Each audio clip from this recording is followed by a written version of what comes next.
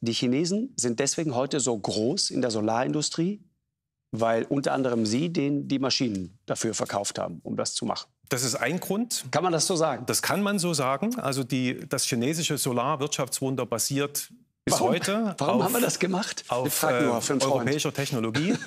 Aber der eigentliche Hauptgrund, warum das so stark geworden ist, ist einfach die industriepolitische Ambition Chinas, wo eben seit 15 Jahren mit massiver staatlicher Unterstützung, mit hunderten Milliarden, die dort reingesteckt worden sind, an Staatsgeld bis heute diese Industrie aufgebaut wurde.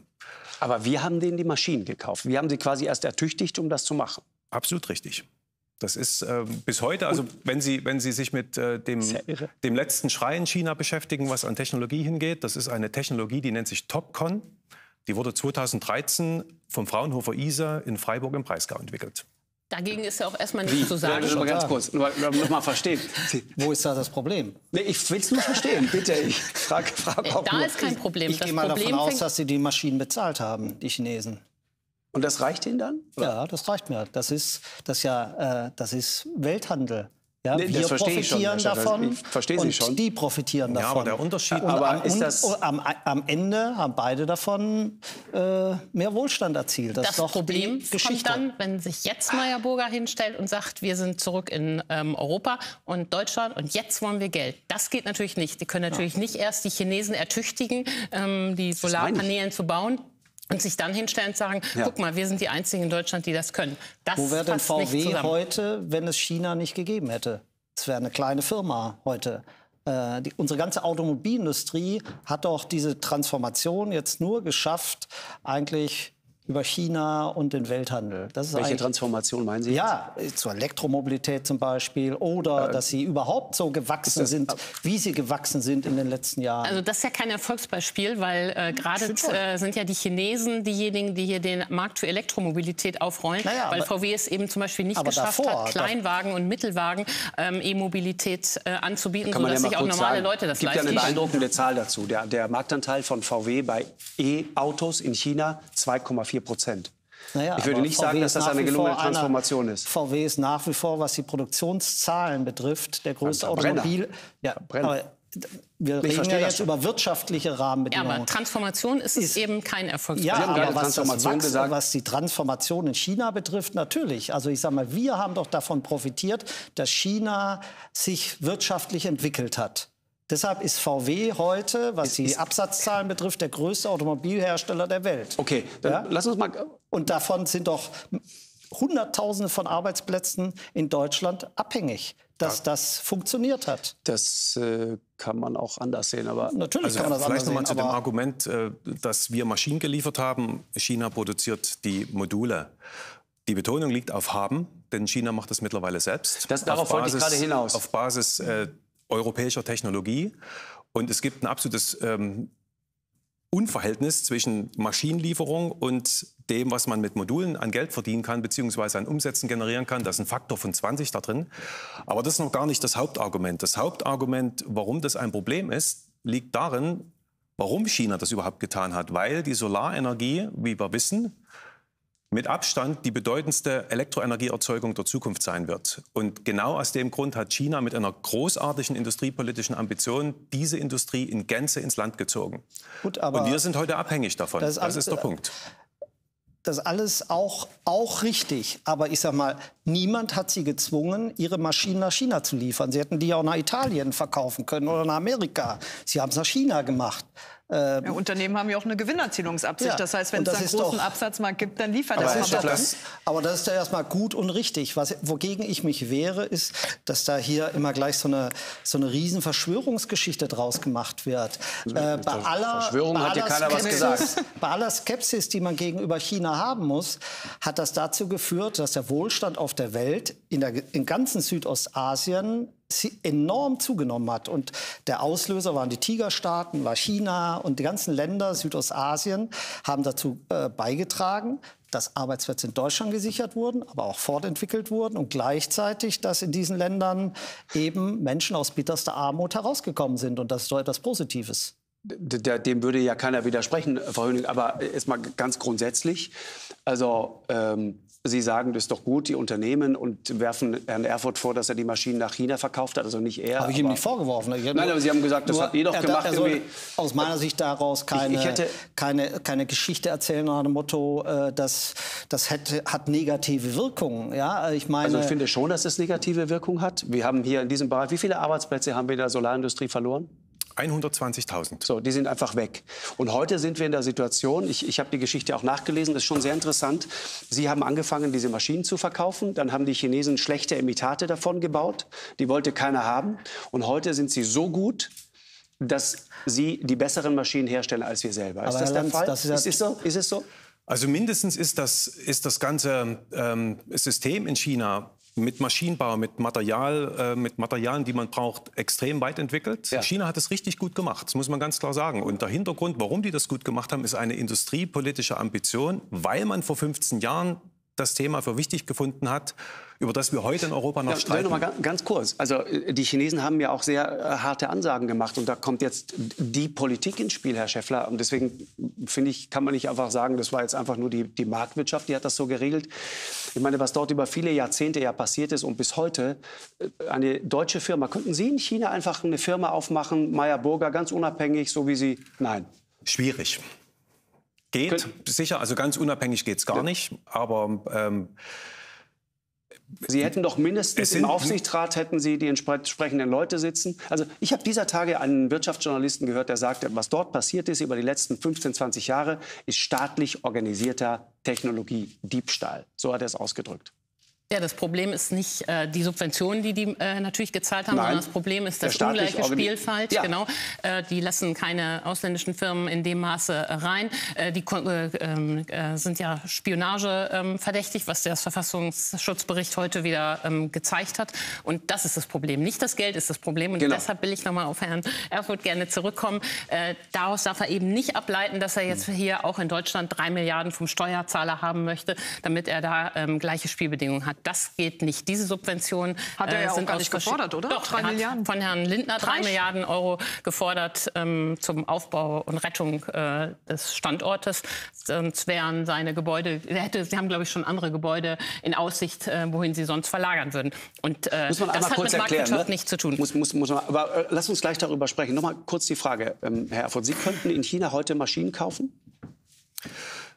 Auch das ist nicht mehr sicher, denn China hat äh, im, zum Jahresende 2022 Genau. angefangen, einen, eine Restriktion mindestens mal zu benennen und äh, zu kommunizieren, dass die Technologie, die einst von Europa nach China gegangen ist, nicht mehr exportiert So. werden darf. Und warum? Ich sage es nochmal, weil man die wichtigste Energieerzeugungsform der Zukunft, die Solarenergie, dominieren Weil- und beherrschen will. Diese, diese Geschichte, auf die Sie gerade anspielen, das war so eine kleine Randnotiz, ne? glaube ich, irgendwo in, in einem Ministerium nicht weiter beachtet. Genau. Aber in Wahrheit eine, eine echte Granate.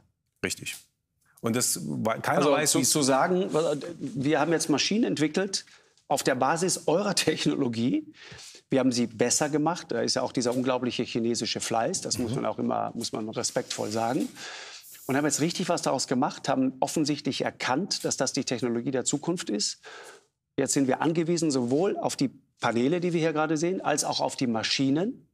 Und von den Maschinen sind sich die Chinesen selber nicht mehr so ganz sicher, ob sie uns die in Zukunft noch verkaufen wollen. das ist absolut korrekt. Ich nenne es maximale Abhängigkeit. Und das zielt, das zielt auf die Initiativen hin, die es eben außerhalb Europas gibt. Ja. Das heißt, Indien hat vor fünf Jahren Größenordnung verstanden, dass diese Abhängigkeit nicht gut ist und hat eigene Programme aufgelegt und fördert jetzt faktisch Produkte mit lokalem Anteil und eine eigene Wertschöpfung.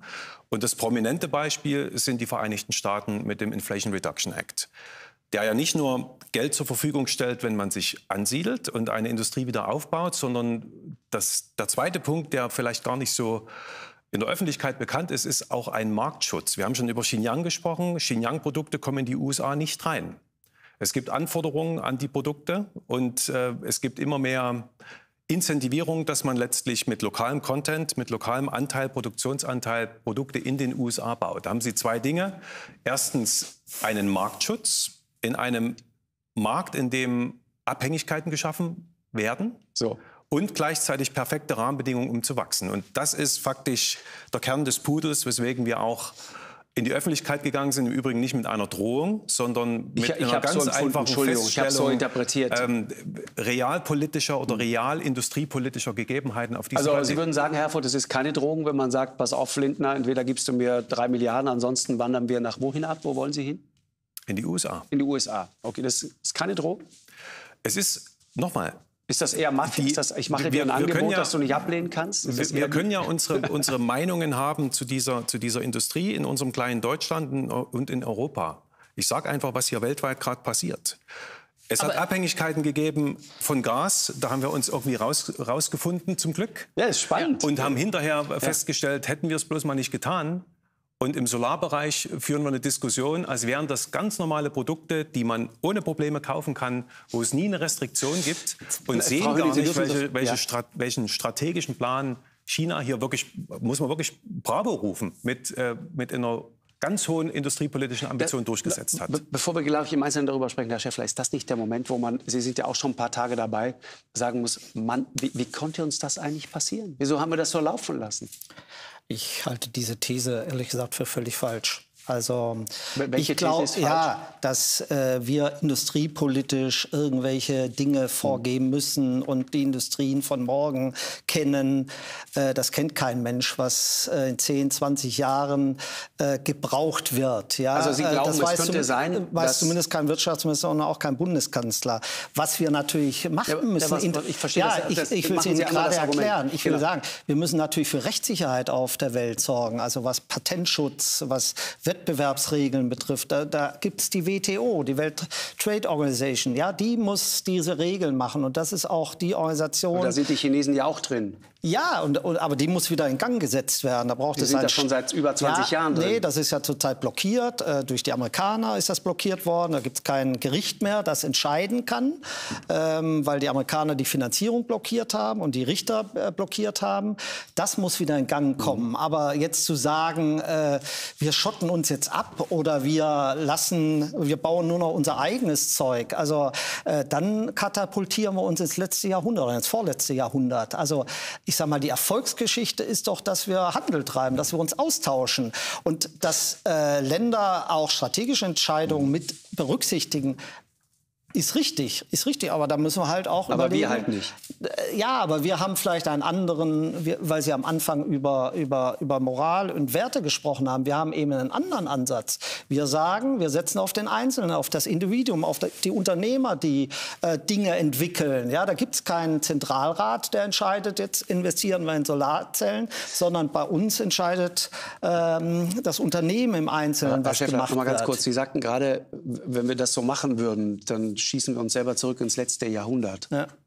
Das Argument verstehe ich nicht. Ja, weil ich sag mal, wenn äh, wir alles selbst hier in Deutschland produzieren würden, dann wäre es so teuer, dass es im Zweifel keiner kaufen würde. So einfach Aber ist Sie, es. Sie glauben nicht, dass Sie Sie deuteten gerade an, wer weiß, was in zehn Jahren ist. Vielleicht ist da Photovoltaik gar kein Thema mehr. Sie meinen, Nee. wir können heute gar nicht wissen. Ja, aber ob, ob jetzt die Photovoltaikanlage, die er heute baut, ob die in 20 Jahren noch äh, Stand der Technik ist, wissen wir ja gar nicht. Ob das das Unternehmen ist, die sind jetzt sehr innovativ, ich habe mich im Vorfeld auch informiert, hoher Wirkungsgrad, ja. Aber ob sich das, äh, ob, ob sie diesen Innovationsniveau äh, fortführen können auf Dauer, weiß ich nicht. Ja, das wird der Wettbewerb Haben Sie, entscheiden. haben Sie in der Vergangenheit mal über, über solche Themen die Frage, ob man irgendwann sagen muss, okay, auch wenn das die, die klassische FDP-Position ist, das macht irgendwie der Markt.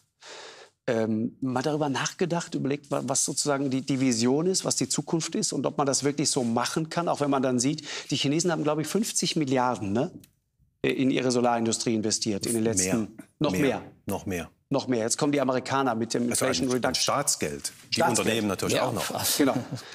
Äh, Das heißt, sitzt man da immer mal zusammen und überlegt irgendwann mit, was weiß ich, 2015, 2014 und überlegt, was ist eigentlich der Weg? Wo geht die Reise hin? Gibt es Naja, solche haben- Momente in der deutschen ja, Politik? Wir haben ja jetzt durch die Pandemie äh, und auch durch den Ukraine-Krieg ja durchaus eine Bewusstseinsveränderung, ja, äh, weil äh, die einseitige Abhängigkeit von einem Land ist vielleicht nicht so gut. Ja, das haben wir bei Russland erlebt, das erleben wir jetzt auch bei China. Ja. Aber die, was machen die Unternehmen in solchen Fällen? Ja, sie versuchen, ihre Lieferketten zu differ, äh, differenzieren ja, und äh, ihre Strategie zu ändern. Ja? Und wenn sie es nicht tun, dann laufen sie eben Gefahr, wie in Russland oder wie in China, äh, irgendwann mal durch irgendeine politische Entscheidung hinweggefegt zu werden. Das heißt, es ist im unternehmerischen Interesse, ähm, zu differenzieren. Und das wer- werden die Unternehmen auch tun.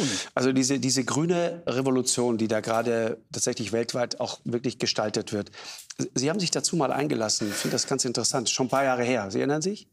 Ich weiß jetzt nicht, was Sie meinen. Sie werden jetzt Kollegen haben da, sind da mal ins Archiv und haben äh, eine interessante Einlassung von Ihnen gefunden. Ich weiß nicht, ob in der Regie das gerade vorliegt, aber vielleicht können wir das mal zuspielen. Bitte schön. Wir haben in verschiedenen Fragen Reden und Handeln nicht zusammengebracht.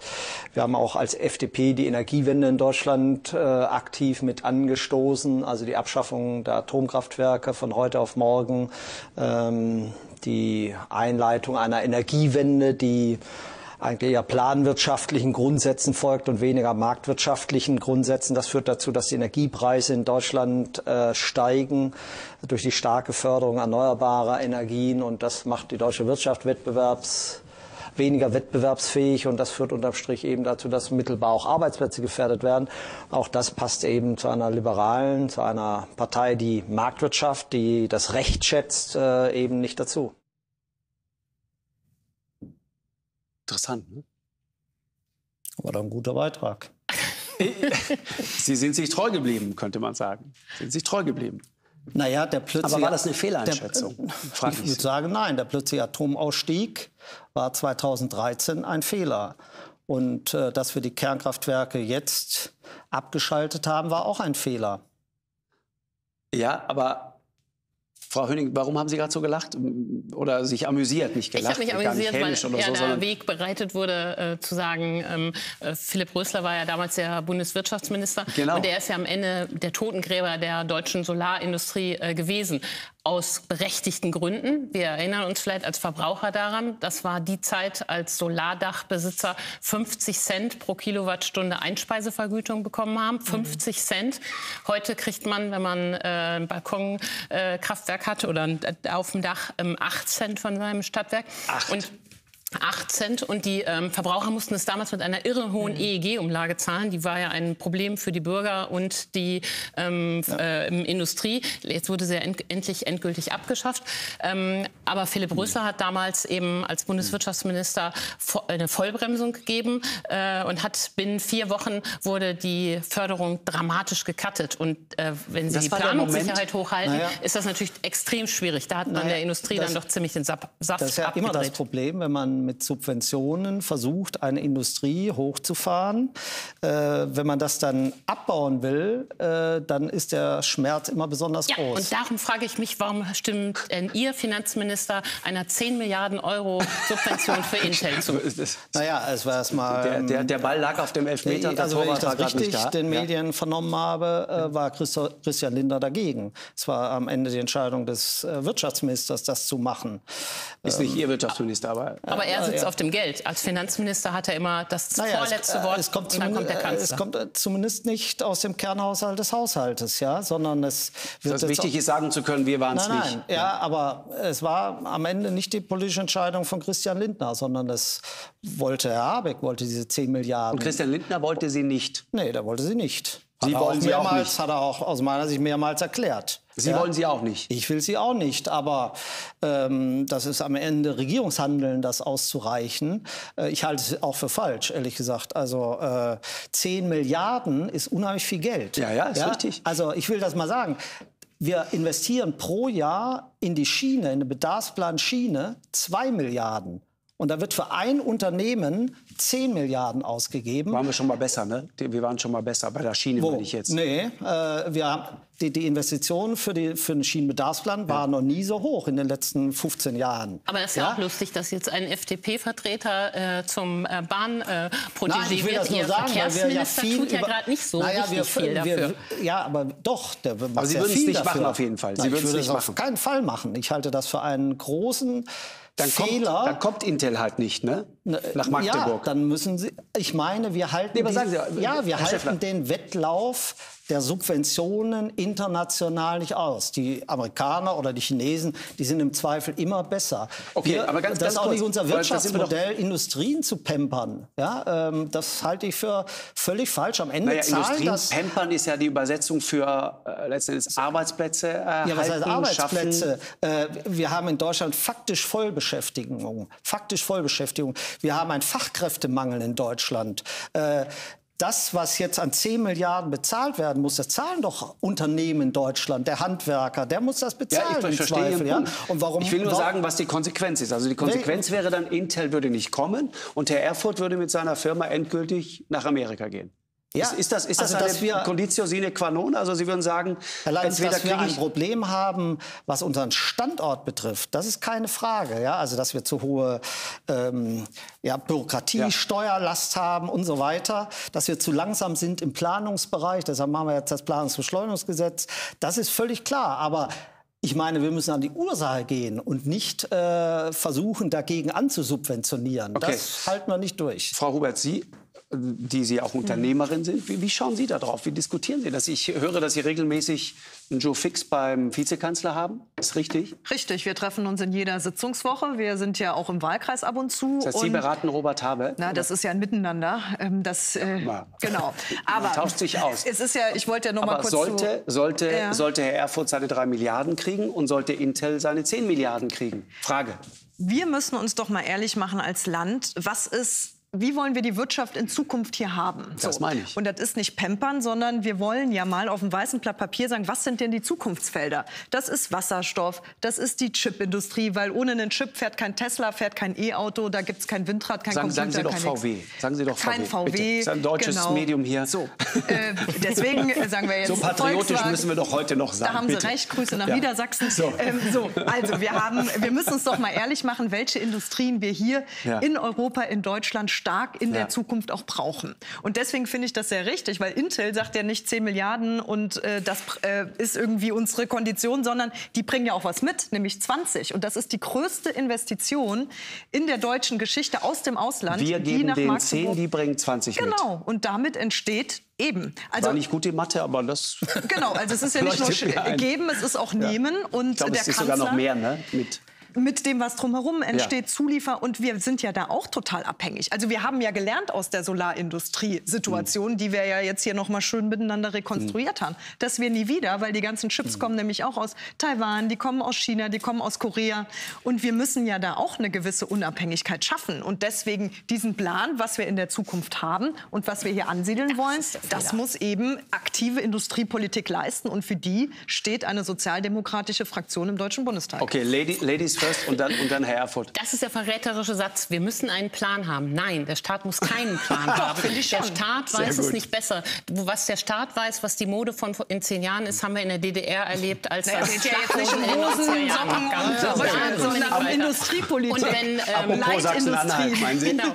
Und wenn die äh, Solarzellen äh, nicht aus Deutschland äh, kommen, weil es sich hier äh, für, nicht lohnt, weil es hier für ein Unternehmen nicht attraktiv ist, dann ist das kein Problem. Dann heißt Aber das wir sind jetzt bei Chips. Handelsdiversifizierung. Wir sollen nicht alle ähm, Solarzellen aus China kaufen. Genau den Fehler sollen wir nicht wiederholen, wie wir es in der Gaskrise gemacht haben. Aber wir müssen nicht die Solarzellen in Deutschland produzieren. Wichtig ist, dass wir verschiedene Quellen haben.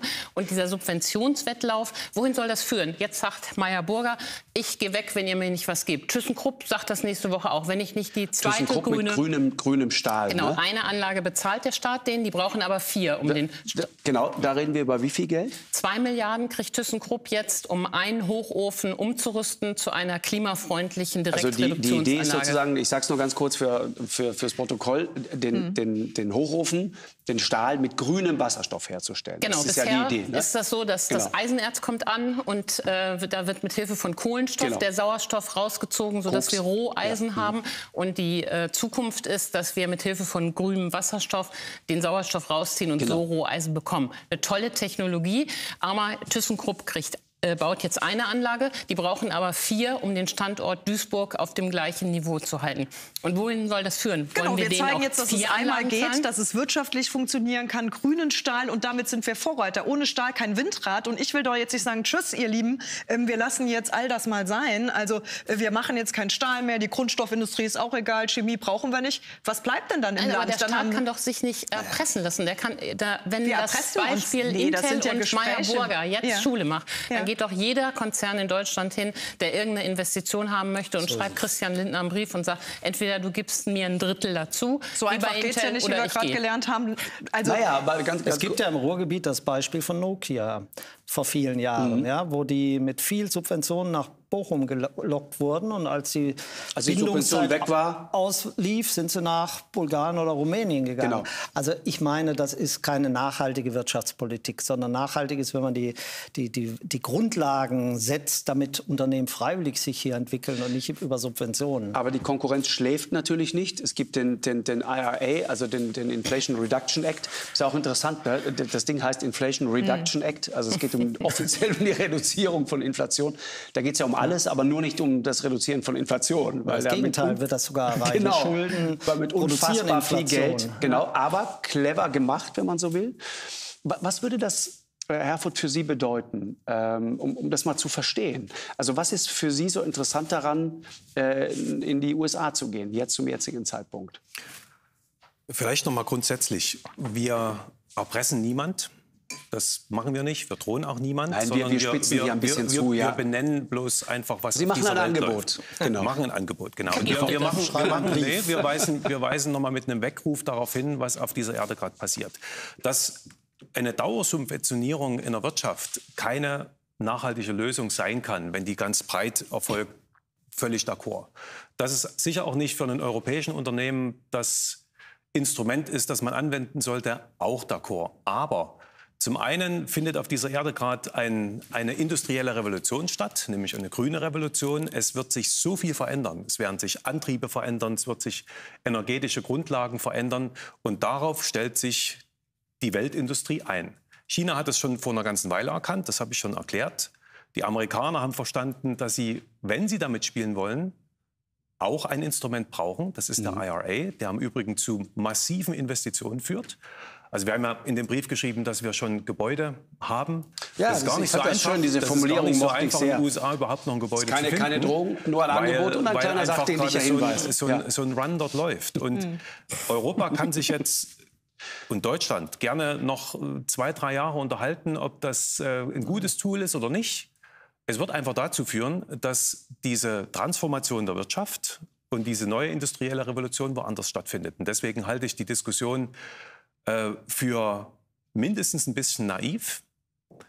Und ich finde sie auch äh, ein bisschen doppelzüngig, denn wir tun ja gerade so, oder wir sprechen es mal Herrn Schäffler an, als äh, hätte es in Deutschland nie irgendwie Subventionen gegeben. Was ist denn der Kohlepfennig gewesen? Was sind Subventionen Das gewesen für den, gutes Beispiel. für den Doppelzüngig Kohlebergbau? Sie können doch nicht sagen, als ist Unternehmer sagen, Wenn man ich einen Beleg investiere braucht. nur, wenn ich Staatsgeld bekomme. Also äh, das äh, passt doch überhaupt nicht Das ist zusammen. nicht die Aussage. Und Die Aussage wie ist gesagt, eine Das ist andere. kein Problem, wenn, äh, die, wenn Sie die Solarzellen nicht in Deutschland produzieren. Machen Sie es ähm, woanders und äh, wir kaufen die dann gerne auch, wenn Sie in den USA die ähm, Ja, das äh, Problem herstellen. doch nicht- die Entschuldigung, Solarzellen stopp, nicht wieder stopp, stopp. zurückkommen. Wie viele Arbeitsplätze hängen denn da dran, bitte? Also was wir auch nicht gesagt haben, ist, dass wir, Sie, dass Sie wir, produzieren in Sachsen-Anhalt. wir ne? produzieren in Sachsen-Anhalt, wir Wie haben viele in, Jobs in? Ostdeutschland 1000 Mitarbeiter. Wie viel? 1000. 1000, okay. 1000. Und die, die sind auch nicht gefährdet, denn wir haben Bestandslinien. Es geht äh, grundsätzlich darum, wie wir weiter investieren. Machen wir das hier oder machen wir das in den USA? Sie wollen, Sie wollen, wie, viel Gigawatt produzieren Sie im Moment? Wir haben eine Nominalkapazität von 1,4 Gigawatt. Das 1,4. 1,4. Das klingt sehr viel, ist aber im Weltmaßstab noch sehr klein. Genau, der größte chinesische Hersteller macht 45, kann das sein? Nein, viel mehr. Noch Richtung, mehr? Richtung 80 Gigawatt. Äh, äh, Genau, ich, ich habe gelesen, die machen 45 und wollen auf 90 hoch Genau. skalieren. Genau. Einer, Einer. Und da gibt es mindestens acht große. genau. Und es kommen immer wieder neue dazu. Aber zu Ihrer Frage zurück, was passiert in den USA, wenn wir dorthin kommen? Zum einen gibt es über den IRA äh, hinaus noch weitere ähm, Instrumente, die die USA anwenden. Es gibt also auf Staatsebene oder Bundesstaatenebene, teilweise auf äh, Stadtebene, wo man sich niederlässt, nochmal eine Förderung, bares Geld. Es gibt ein, ein ähm, Darlehensprogramm des Department of Energy, wo man zinsvergünstigte Darlehen erhält. Und dann gibt es den IRA. Der IRA alleine bedeutet, dass man pro Gigawatt Produktion pro Jahr 110 Millionen US-Dollar erhält als Solarhersteller, der Solarzellen und Solarmodule produziert. Das wäre in unserem Fall so, dass wir zwei Gigawatt aufbauen würden. Wir haben ein Solarmodulwerk in den USA schon in der Entstehung und es geht jetzt, Wo? das ist in, ähm, in der Nähe von Phoenix, In Arizona. Arizona. Mhm. Das wird gerade gebaut, das ist auch bekannt.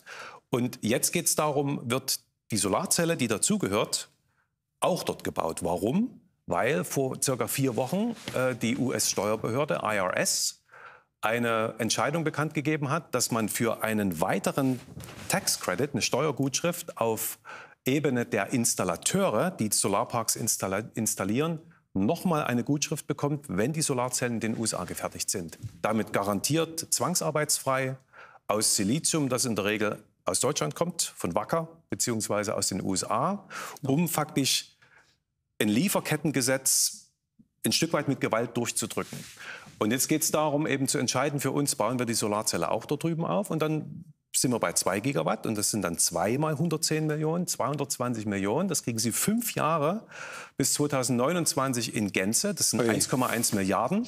Und ab 2030, 31, 32 geht es so ein bisschen runter. 33 ist es Herr Schäffler, wollen Sie Christian Lindner kurz anrufen oder Ja, kurz ja, ja, rausgehen? so. Na, das ist ja beängstigend. Nein, äh, also natürlich kann man jetzt mit Protektionismus oder mit staatlicher Förderung irgendwie versuchen, Industrie anzulocken. Aber historisch hat das noch nie ge richtig geklappt. Ich glaube nämlich, dass was nicht gesehen wird, ist, dass das, was in Amerika gemacht wird, ja von den Amerikanern irgendwie auch bezahlt werden muss. Also das, was da investiert wird, kann nicht an anderer Stelle investiert werden. Ja, irgendeiner, das Geld ist ja nur einmal da. Also irgendeiner muss es ja bezahlen. Und ähm, hier entscheidet der Staat, dass er gewisse Industrien fördern will, aber andere die vielleicht nicht im Fokus Mhm. der Politik sind, die gehen dann leer aus. Die müssen sogar bezahlen Es über ihre Erfurt, Sie Steuern. machen mir Angst, Ja, wenn Sie als Unternehmer leuchtende Augen kriegen, wenn Sie diese ganzen Programme aufzählen, wo Sie von wem welches Geld abgreifen, dann macht mir das Angst, Ja. weil wenn wir das übertragen auf Deutschland,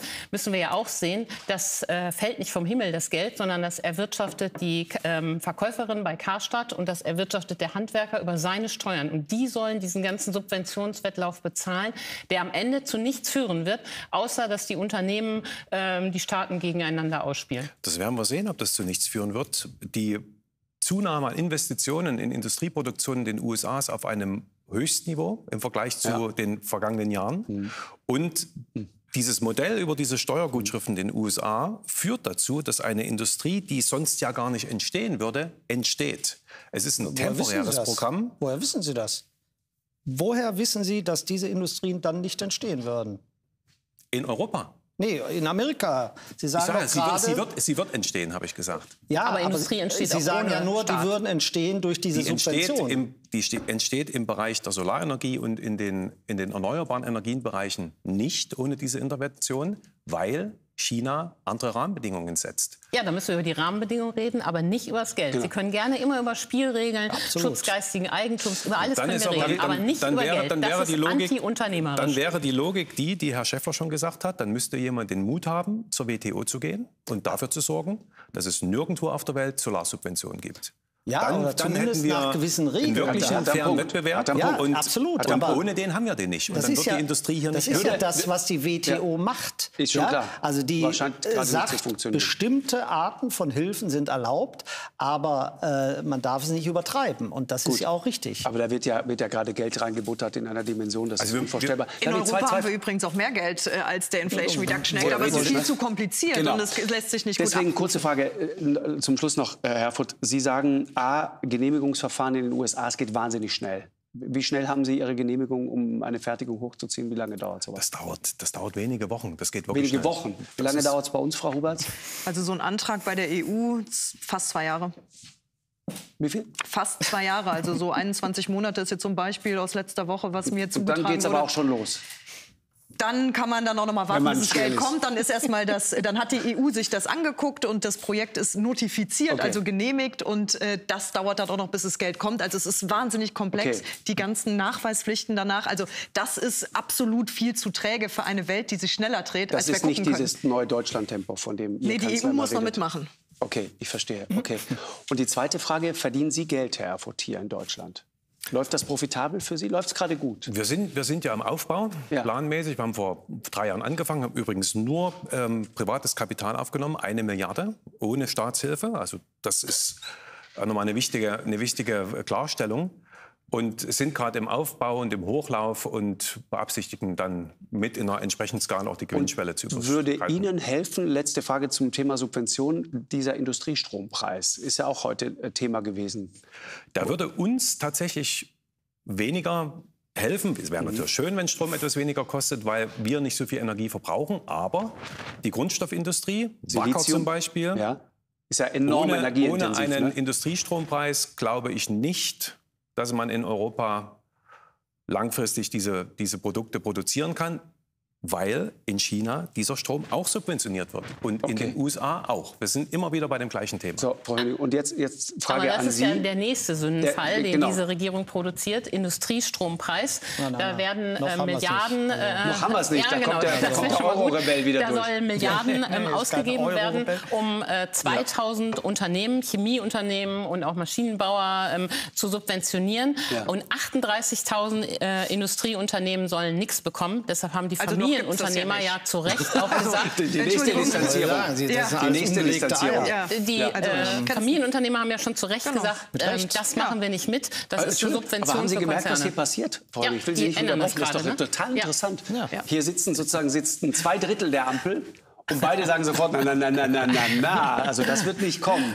Aber aus dem grünen Wirtschaftsministerium hören wir, das Ding wird wahrscheinlich kommen. Das ist doch der Plan. Also da, ist der Streit Entschuldigung, ja so- ich habe nur gesagt, so wie Sie es gerade beschrieben haben, äh, wird es nicht Ah. kommen, weil es gibt ja noch kein fertiges Konzept und äh, deswegen sind wir ja noch mitten in der Beratung, weil ich bin nämlich auch dafür, dass wir niemanden, also dass wir es nicht zu eng fassen und die Familienunternehmen natürlich jetzt nicht äh, leer ausgehen, Okay. sondern wir müssen uns überlegen, wen wollen wir denn helfen? Aber Und Sie das wollen, dass die Subvention kommt, der Industriestrompreis? Eine temporäre Brücke. Denn das Genau. Problem ist ja, wir sind jetzt an einem Punkt, wo die Kosten sehr hoch sind. Und Genau. wir müssen die Brücke bauen, bis Okay. wir dann mal die Erneuerbaren günstig und gut und viel verfügbar haben. Und deswegen temporär als Brückenstrompreis. Und Sie, Herr Schäffler, sind? Ich halte das für eine falsche Überraschenderweise dagegen. Ja, Äh, weil ich glaube, äh, da zäumen wir das Pferd von der falschen Seite auf. Wir müssen Ja. gucken, dass wir insgesamt für alle Bürger die Auch das. Strompreise reduzieren, die Stromsteuer beis beispielsweise senken äh, und nicht äh, oder mehr Angebot schaffen. Genau. Zum Beispiel, äh, wir haben ja selbst ein Stück weit dazu beigetragen, dadurch, dass wir jetzt sechs Kernkraftwerke in Deutschland abgeschafft haben.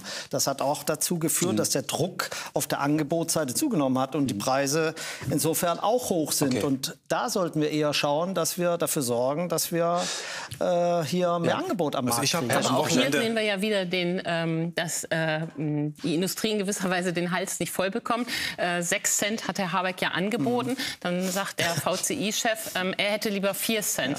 Ja, ähm, oder Ich gleich ganz drei. umsonst. Genau, lieber drei. Und das deshalb, hat- das also diese eine gewisse- Subventionsmentalität Ja. der deutschen Unternehmen, die ist, So ist beängstigend. Und da müssen wir von ähm, zurückkommen. Wir brauchen keinen Industriestrompreis. Lassen Ja. Sie uns doch die Stromsteuer für alle senken. Dann hat auch der Handwerker was davon. Okay, wir, wir werden dieses Thema noch ausführlicher und, und ausgiebiger noch diskutieren.